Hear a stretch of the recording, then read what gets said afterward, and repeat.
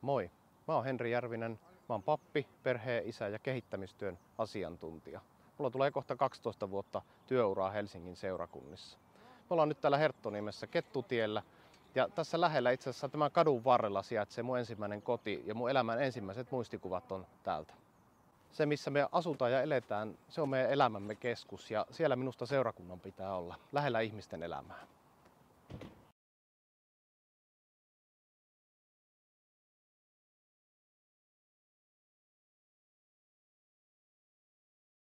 Mä olen työssäni keskittynyt hengellisyyden kysymyksiin, erityisesti siihen, että miltä nykypäivän hengellisyys näyttää, varsinkin täällä Helsingissä.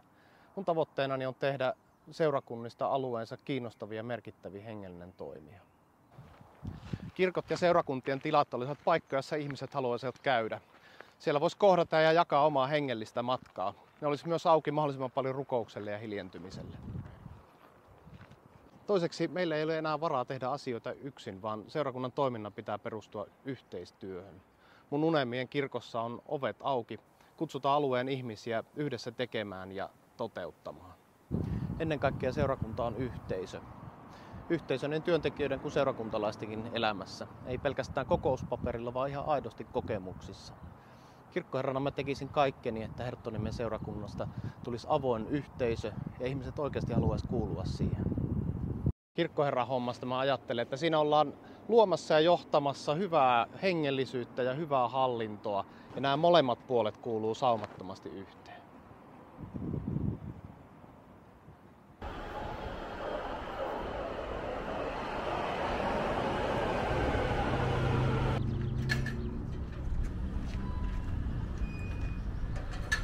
Lähdettiin liikkeelle sieltä elämän alkupäästä ja nyt ollaan tultu tänne maallisen elämän toiseen päähän.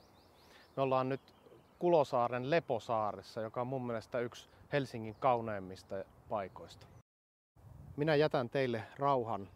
Oman rauhani minä annan teille, en sellaista, jonka maailma antaa. Olkaa rohkeat, älkää vaipuko epätoivoon. Jeesus puhuu tässä tekstissä rauhasta. Mitä se tarkoittaa?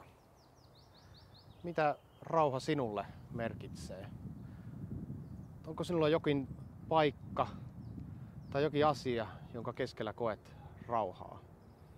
Mieti tätä hetki.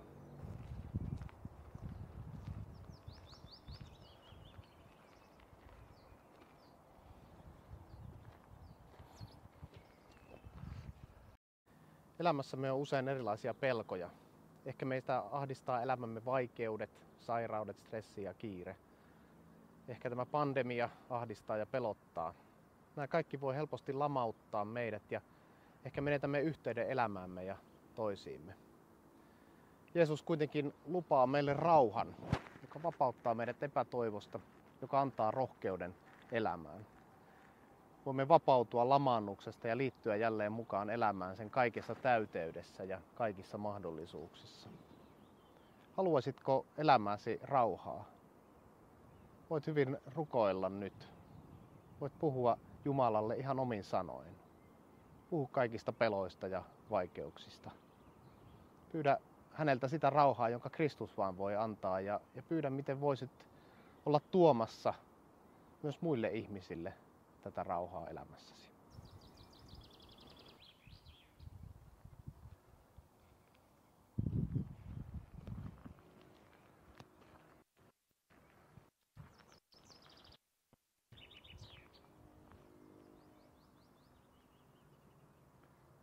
Minusta on kiinnostava tämä Leposaaren kappelin tämmöinen pyöreähkö muoto.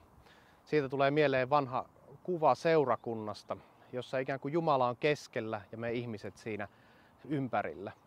Ja mitä lähemmäksi me keskusta eli Jumalaa liikumme, niin sitä lähemmäksi me myös tulemme toinen toisiamme. Tällaista kirkkoa ja tällaista seurakuntaa minä haluan olla rakentamassa tänne Helsinkiin.